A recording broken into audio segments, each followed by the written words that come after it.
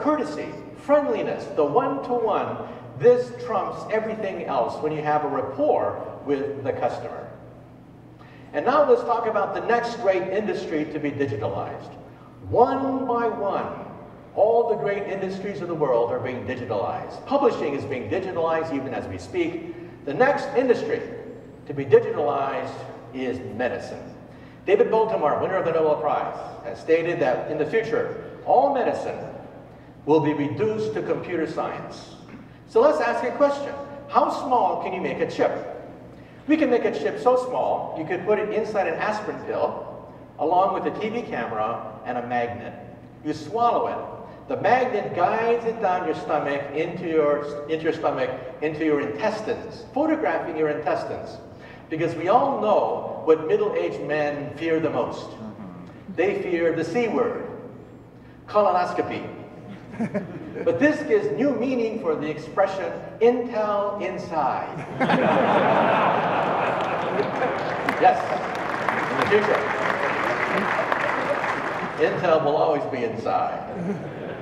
And did you know that we can put antibodies on molecules, molecules that then seek out cancer cells individually, one by one, and kill them? This is undergoing human trials even as we speak in Bethesda, Maryland, outside Washington.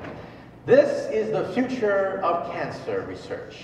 We will knock out cancer cells one by one with smart bombs.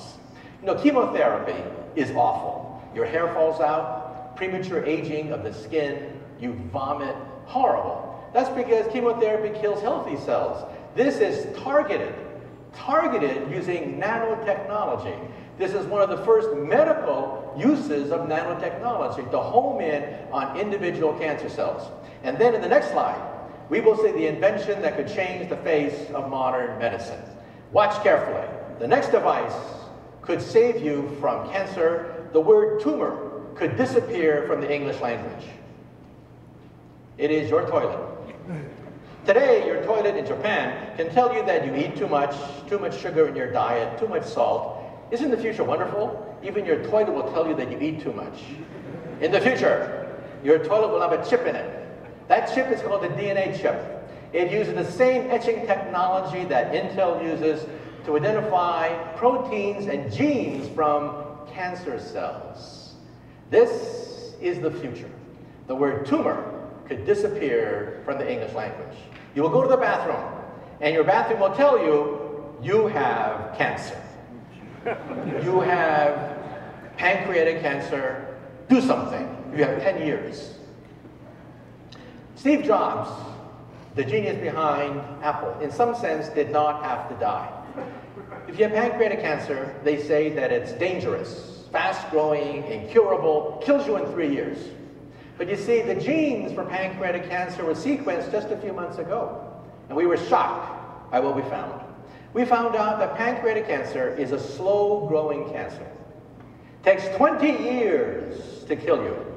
But in the first 17 years, you don't feel a thing. Only in the last three years do you feel it. You go to the doctor, and the doctor says, fast-growing, you killed you in three years. Steve Jobs did not have to die. Because this technology will tell you that you have pancreatic cancer. You have 20 years to do something. And of course, the tricorder is the basis for the medicine of Star Trek, but we physicists can create a tricorder. This is an MRI machine on the left, huge, gigantic. On the right is the world's smallest MRI machine. Why does an MRI machine have to be so big? Because the magnetic field, the Helmholtz coil, has to be uniform. Uniform magnetic fields have to be large. But we can use supercomputers to compensate for weak magnetic fields. We know Maxwell's equations. We can use supercomputers to unravel Maxwell's equations so that small magnetic fields can duplicate the conditions of large magnetic fields. On the right is the world's smallest MRI machine. Two physicists in Germany put it together, and they were interviewed by Scientific American. And they were asked the question, how small can you make an MRI machine? And they said, according to the laws of physics, the smallest MRI machine that's practical is this big. This is the tricorder from Star Trek. We will have it, compliments of supercomputers. And what about the genome? It cost $3 billion to sequence the first human. Today, it costs $1,000. The genome is computer tape. Instead of zeros and ones, zeros and ones, it says ATCG, ATCG. And what will we do with this?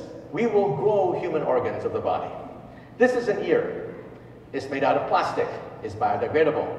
We put cells from the ear, coded for its DNA. It proliferates in the ear, leaves a perfect ear when the plastic dissolves from your own cells. No rejection mechanism. On the left is bone. On the right is cartilage, noses, ears. We can now do blood vessels, heart valves, skin, cartilage, noses, ears. The first bladder was grown a few years ago. And the next major organ to be grown is the liver. So for all you alcoholics in the audience, drink up tonight, knowing that we scientists may create the first liver before your liver peters out. Let me just say a few more things. The brain is the next frontier. Uh, this is your brain on the left when it tells the truth. When you tell a lie, first you have to know the truth. Then you have to create the lie. Then you have to calculate the consistency of the lie with all the other lies you've been telling all these years. That's a lot of brain power. Your brain lights up like a Christmas tree on the right. So, not only that, but we can now read people's thoughts using computer interface. Thinking is electrical. They can be decoded using software, and the guy on the left is paralyzed. But he can be, his thoughts can be decoded. He can now write email, answer email, surf the web, play video games, and he is totally 100% paralyzed. And this is my colleague, Stephen Hawking. He has now lost control over every major organ of his body. All he can do is think. Look on the right-hand glass. There's a chip. A chip in his right glass, a single-channel EEG sensor that allows him to communicate with the computer using pure thought. So one day, thinking itself will be digitalized. Now, if there's one message that I want to get across, it's, this, it's that we have to tell the people of the world, the people of America especially, that the source of all this wealth that we see around us is science and technology. We just had a grueling election, and if you watched any of the election debates, it was all about how to cut the pie. What slice of the pie goes to the rich? What slice of the pie goes to the middle? What slice of the pie goes to the poor? It's a zero-sum game. I say, we need a bigger pie. And how do you create a bigger pie? It's science and technology that's the ultimate source of all this, but we have not given that message out to the American people. And therefore, they're going to cut our budget. You know, during the height of the Cold War, when we physicists wanted a new atom smasher, we would go to Congress and say one word, just one word, Russia. And then Congress would say two words, how much? Those days are gone. Our super collider was canceled. In fact, the manned space program was canceled just two years ago. We have to convince the people of the world that wealth and prosperity, a bigger pie, comes from high technology.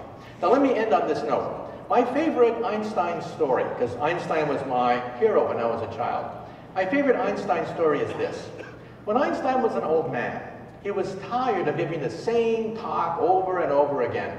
So one day his chauffeur came up to him, and the chauffeur said, Professor, I'm really a part-time actor. I've heard your speech so many times, I've memorized it. So why don't we switch places?